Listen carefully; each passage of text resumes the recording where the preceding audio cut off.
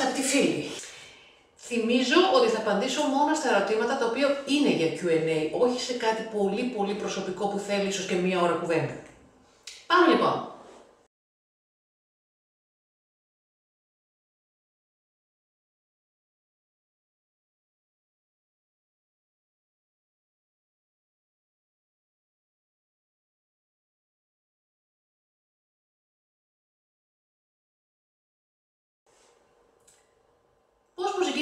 Που μου αρέσει, αλλά δεν τον γνωρίζω. Τι κάνω; Κατερίνα. Με μία πρόφαση. Με μία πρόφαση. Δεν ξέρω σε ποιο χώρο τον έχει συναντήσει, αν είναι έξω, αν είναι στη στάση λεωφορείου, αν είναι στο γυμναστήριο, αν είναι κάπου ή σε μια παρέα. Ε, για μια γυναίκα είναι πολλές φορές πολύ πιο εύκολο, γιατί οι άντρες μ, δεν θα έλεγα ότι είναι απορριπτικοί ή αμυντικοί ε, όταν τους πλησιάζει μια κοπέλα. Θα έλεγα ότι είναι και πιο ευγενικοί από εμάς θα σου έλεγα να τον πλησιάσεις με μια πρόφαση. Με μια πρόφαση, γυναίκα είσαι, μπορείς να βρεις μια πρόφαση, να το κάνεις χαριτωμένα, γλυκά, χωρίς να περιμένεις τίποτα. Κάνε το απλά για να γίνει ένα πρώτο κονέ. Και μετά θα δεις πώς θα κινηθεί εκείνος στην πορεία. Μέρη, γιατί κάποιος μπορεί να σε τρώει με τα μάτια, αλλά δεν κάνει την πρώτη κίνηση. Αυτό είναι σημείο των καιρών, των τελευταίων 20 χρόνων δηλαδή, γιατί εγώ όταν ήμουν 20 αυτά δεν γινόντουσαν, ο άλλος πλησίαζε. Down. Με το πρώτο χαμόγελο πλησίαζε. Ε, Υπάρχουν διάφοροι λόγοι. Πρώτον, δεν θέλει να σε πλησιάσει. Δεύτερον, είναι δεσμευμένος αλλά του αρέσει να κοιτάζει άλλες γυναίκες. Είναι πάρα πολύ αστείο, πίστεψέ με. Και τρίτον, φοβάται να σε πλησιάσει. Ένα από αυτά τα τρία. Αν έχει το τρίτο, μπορείς να κάνεις εσύ την πρώτη κίνηση με μια πρόφαση, όπως είπα και στην Κατερίνα. Χαριτωμένα, φιλικά, χωρίς να είναι προκλητικό. OK; Okay? Και μετά τα υπόλοιπα είναι δικά του βήματα. Βούλα, έχει ηλικία ο έρωτας; Είμαι σίγουρη ότι ξέρεις ότι δεν έχει ηλικία ο έρωτας. Πιο πολυκριτιαρικό εργαλείο χρησιμοποιούμε για την επιλογή συντρόφου, του Γεράσιμου είναι αυτή η ερώτηση. Ε, αυτό που χρειάζεσαι είναι απλά να νιώσεις έλξη για έναν άνθρωπο, αρκεί εφόσον ο άνθρωπος να είναι ελεύθερος και να μην εισβάλλουμε σε δεσμευμένα ζευγάρια. Ε, όταν νιώθεις έλξη, αυτό είναι ήδη αρκετό. Οκ. Αυτό είναι το κριτήριο. Ερωτική έλξη. Και μετά, φυσικά, αν την γνωρίσεις, χρειάζεται να υπάρχει και μια πνευματική συναισθηματική έλξη. Αλλά αυτά δημιουργούνται μετά, αν είναι να δημιουργηθούν. Το πρώτο κριτήριο είναι η ερωτική έλξη. Δεν είναι κάτι άλλο. Ποια είναι τα ταμπού, Δημήτρη, μου κάνεις την καλύτερη και την ερώτηση που ξέρεις πάρα πολύ καλά ότι μου πατάς κουμπάκι εδώ. Ποια είναι τα ταμπού στα ελληνικά δεδομένα κατά τη γνώμη σου στο φλερ και στον έρωτα; τα έχω πει πάρα πολλές φορές. Ε, λοιπόν, αυτό θέλει ολόκληρο βιβλίο. Ολόκληρο βιβλίο. Μπορεί όταν πάρω κάποια στιγμή σύνταξη σε 50 χρόνια να το γράψω αυτό το βιβλίο επιτέλους για τα ε, ταμπούς στην ελληνική κοινωνία σχετικά με τον έρωτα. Κοίταξε να δεις. Καταρχήν δεν διδασκόμαστε τη σεξουαλική διαπαιδαγώγηση στα σχολεία. Είναι το πρώτο έγκλημα. Έγκλημα. Εγώ που το έχω διδαχτεί ήδη όταν ήμουν 8 και στα, 10, και στα 12 μου χρόνια περίπου, στο δημοτικό, ε, με είχε σώσει από πάρα πολλά παρατράγουδα που πάρα πολλές κοπέλες όταν ήμουν εγώ μικρότερη, 20-25, δεν τα γνώριζαν και κάνανε ζημιά στον εαυτό τους από άγνοια. Έτσι, την οποία σε μένα δεν έχει συμβεί γιατί ήξερα πολλά πράγματα ήδη από το σχολείο. Και όταν λέω πολλά πράγματα εννοώ για, την, ε, για τα αφροδίσια νοσήματα, γνώριζα τα πάντα για την αντισύλληψη, ε, γνώριζα πώς λειτουργεί το, το, το, το, σώμα μας. Ε, πολλοί άνθρωποι στην ηλικία μου στα 20-25 δεν είχαν ιδέα πώς λειτουργεί το σώμα τους, δηλαδή υπήρχε μια πλήρη τύφλωση. Ακόμα υπάρχει και τα νέα παιδιά διδάσκονται δυστυχώς πλέον εντελώς λανθασμένα από τα ελεύθερα sites πορνό, το οποίο είναι ό,τι χειρότερο. Το πορνό έχει φτιαχτεί καθαρά για τον αυνανισμό, τίποτα άλλο. Δεν υπάρχει παιδεία. Δεν υπάρχει παιδεία. Υπάρχει ταμπού και ταυτόχρονα υπάρχει και μια τεράστια στην κοινωνία μας πλέον ε, προσπάθεια να υπερβούν με τα βίας αυτόν τον συντηρητισμό που υπάρχει είναι μια μπερδεμένη κοινωνία, η ελληνική κοινωνία σε όλα τα επίπεδα. Οπότε λογικό είναι να είναι και σε αυτό το κομμάτι που είναι και το πιο βαθύ. Ξέρεις, αν δεν είσαι άνετος με το άλλο φίλο και αν το βλέπεις λίγο απογορευτικά, λίγο ενοχοποιημένα, γιατί θεωρώ ότι ο έρωτας και το σεξ είναι στην Ελλάδα πάρα πολύ ενοχοποιημένα. Ε, γι' αυτό και προβάλλουν τόσο έντονα. Μας ελέγχονται μέσα μαζικής ενημέρωσης με αυτό. Αν λοιπόν δεν το περάσουμε μέσα από ένα αγνό πρίσμα, δίνοντας τη σκητάλη στους εξολόγου και στους ψυχιάτρους και στους ψυχολόγους να διδάσκουν στα παιδιά από την κούνια τι σημαίνει το σώμα τους, τι σημαίνει ερωτική πράξη, πώς γίνονται τα παιδιά, τι είναι τα αφροδίσια νοσήματα, τι είναι η προφύλαξη, όλα αυτά, αν δεν τα μάθουμε σε ένα επιστημονικό πλαίσιο στα παιδιά από αρκετά νεαρή ηλικία, ε, φυσικά δημιουργούνται κόμπλεξ. Πάρα πολλά κόμπλεξ. Η ελληνική κοινωνία έχει πάρα πολλά κόμπλεξ γύρω από αυτό το θέμα. Το ξέρουμε όλοι αυτό ότι είναι έτσι. Δεν είμαστε άνετοι χαλαροί με αυτό. Ξέρω ανθρώπους που έρχονται σε εμάς και είναι 30-40 χρονών και είναι τόσο μπλοκαρισμένοι σε αυτό το κομμάτι που δεν έχουν κάνει ποτέ έρωτα στη ζωή τους. Αυτός στο εξωτερικό πολύ σπάνια τους συναντήσεις. Έως καθόλου. Στην Ελλάδα είναι ένας τεράστιος αριθμός ανθρώπων. Ε, είναι πολλά. Αλλά αυτά που σου λέω, έλλειψη σεξουαλικής επαναπαίδευση και έλλειψη αγνότητος ως προς αυτό το κομμάτι. Δεν λιγάκι πόσο χιδαίοι είναι πολλοί άνθρωποι στην Ελλάδα. Αυτή η χιδαιότητα τι σημαίνει, ενεργοποίηση. Νιώθουν χιδαία προς το άλλο φίλο, ε, εκφράζονται χιδαία γιατί το βλέπουν σαν κάτι κακό, σαν κάτι ενοχοποιημένο, σαν κάτι απαγορευμένο. Ο έρωτας, όχι η ομή πράξη, ο έρωτας χρειάζεται να είναι κάτι ιερό. Χρειάζεται να συνδέεται με το συνέστημα. Το βλέπω πολλές φορές και σε ελληνικά σύριαλ πόσο ομά φιλιούνται οι πρωταγωνιστές, πόσο ομά αγγίζονται. Δεν υπάρχει ερωτισμός καθόλου.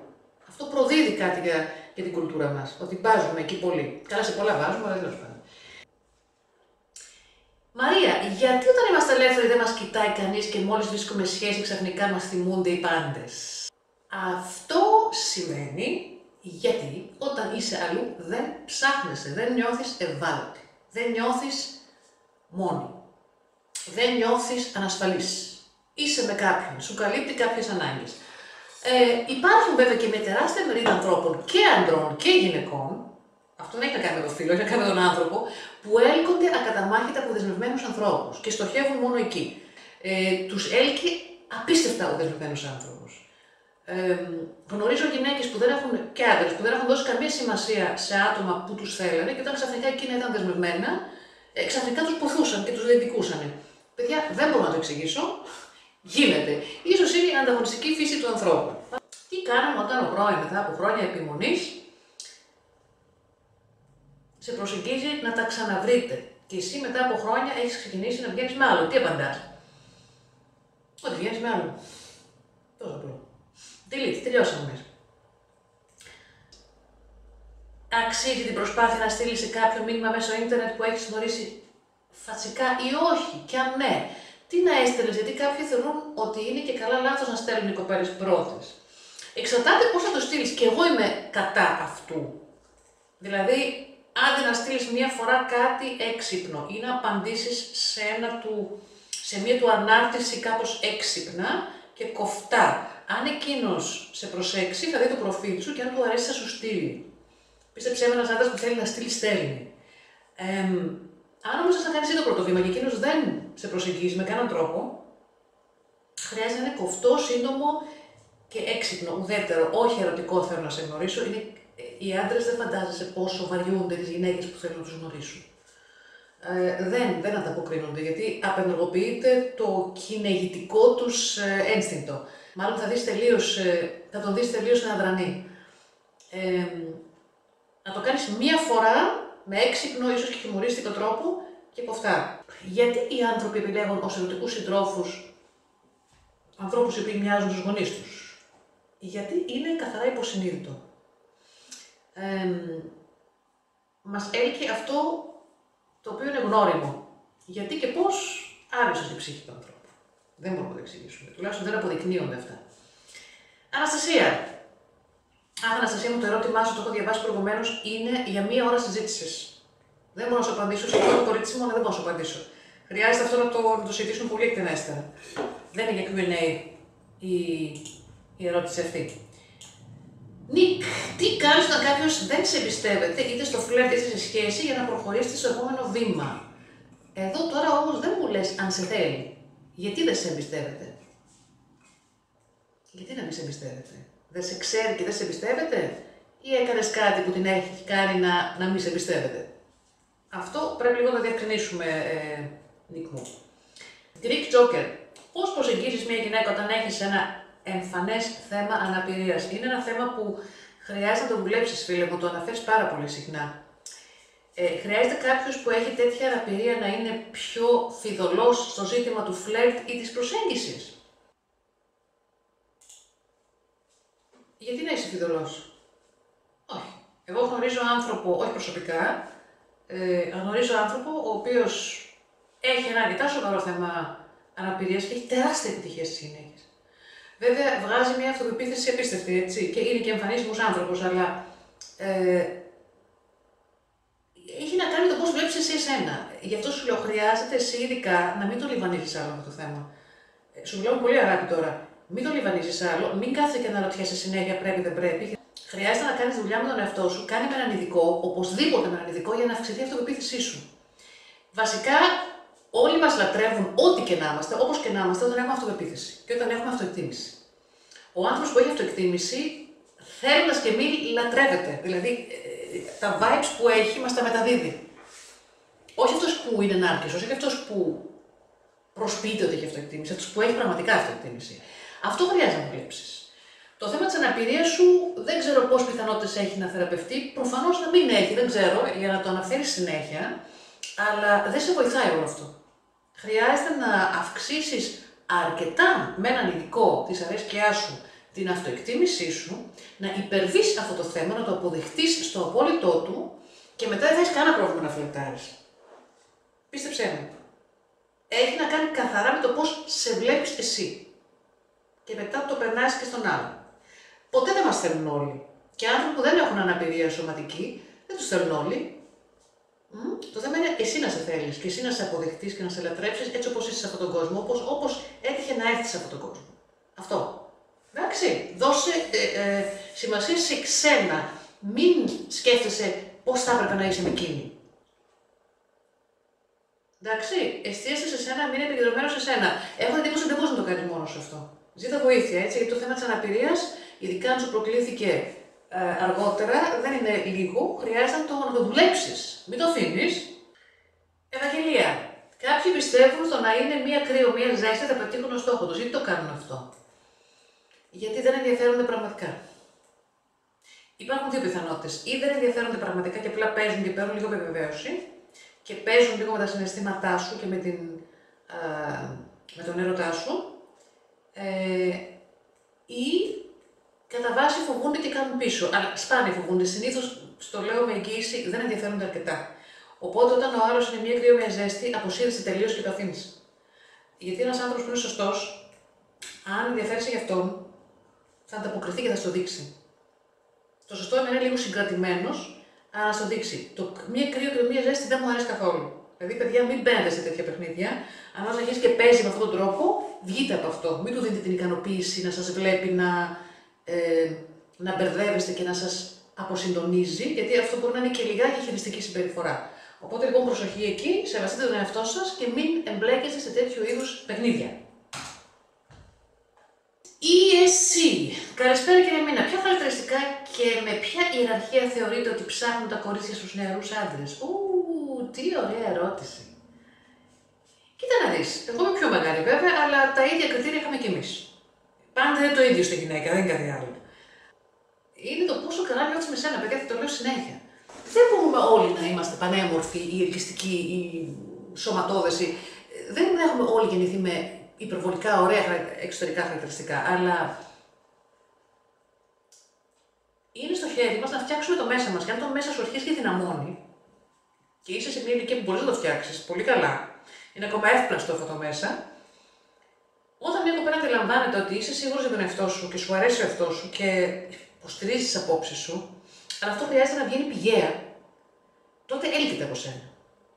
Βέβαια, μετράει και η προσεγμένη εμφάνιση, έτσι. Μετράει το να, με τις δυνατότητες που έχεις να προσέχεις το σώμα σου, να προσέχεις την εικόνα σου, το κούρεμά σου, ε, την καθαριότητα. Ε, όλα αυτά, το στυλ λιγάκι έτσι, γιατί βλέπεις ότι τα κορίτσια κάνουν μεγάλη προσπάθεια να αρέσουν στους άντρες. Οπότε χρειάζεται και ο άντρας ε, πολλά χρόνια λίγο μπάζουν σε αυτό, να προσέχει την εικόνα του. Δηλαδή, δεν μπορούμε να απαιτούμε να θέλουμε μια όμορφη, περιποιημένη κοπέλα και να μην είμαστε κι εμείς περιποιημένοι.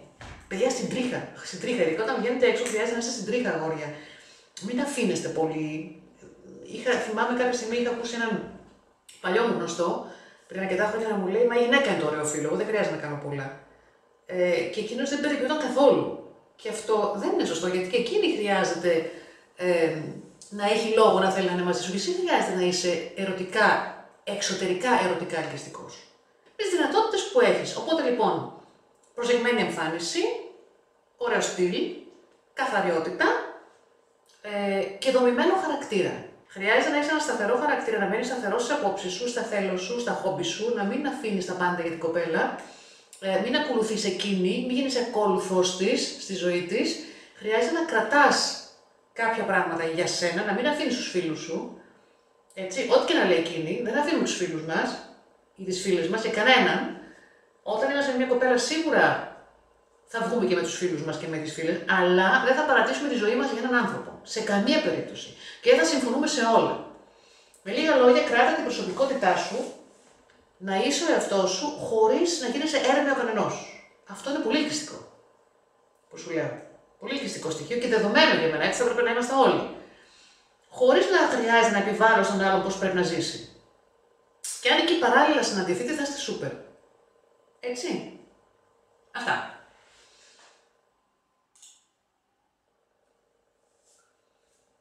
Μου έστειλε κάποιος, μου έστειλε κάποιος στο email ένα, ένα μήνυμα, δεν θέλει να φανεί το όνομά του. Κύριε Μίνα, τι πρέπει να κάνει κανείς για να σας κατακτήσει; Δεν μπορείς να κάνεις κάτι. Εγώ θα το γενικεύσω λίγο. Δεν μπορείς να κάνεις κάτι για να κατακτήσεις κάποιον. Ε, χρειάζεται να υπάρχει ερωτική έλξη, παιδιά. Γι' αυτό μη σου πω ήδη από τα πρώτα δευτερόλεπτα το αισθάνεσαι. Αν υπάρχει. Δεν μπορείς να προσπαθήσεις να κάνεις κάποιον να σε θέλει. Ή να γίνεις κάποιος άλλος για να αρέσεις. Ξέχνα το αυτό. Μη σκέφτεσαι πώς πρέπει να γίνεις για να αρέσεις σε κάποιον άνθρωπο.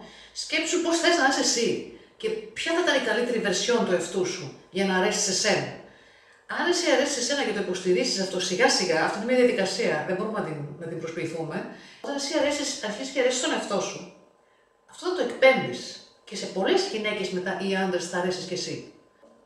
Ήδη από τα πρώτα δευτερόλεπτα ο άλλος καταλαβαίνει αν του αρέσεις ή όχι. Είναι ο τόνος της φωνής μας, είναι αυτά που λέμε, είναι οι απόψεις μας, είναι η στάση σώματος, είναι η εμφάνιση, είναι αυτά που κάνουμε στη ζωή μας. Και αυτά, παιδιά, δεν τα κάνουμε μόνο για να αρέσουμε στο άλλο φίλο, τα κάνουμε και για μας. Και όταν αρχίζει και μας αρέσει η δικιά μας ζωή, θα αρέσεις και σε αρκετούς άλλους, εκτός από τον εαυτό σου. Έτσι πάει. Δεν κάνω δηλαδή κάτι για να αρέσω στις γυναίκες ή στους άντρες. Σίγουρα θέλω να είμαι προσεγμένος για να είμαι ελκυστικός, αλλά όλο αυτό που χτίζουμε στη ζωή μας βήμα-βήμα, το χτίζουμε για μας. Το χτίζουμε για να είμαστε εμείς καλά.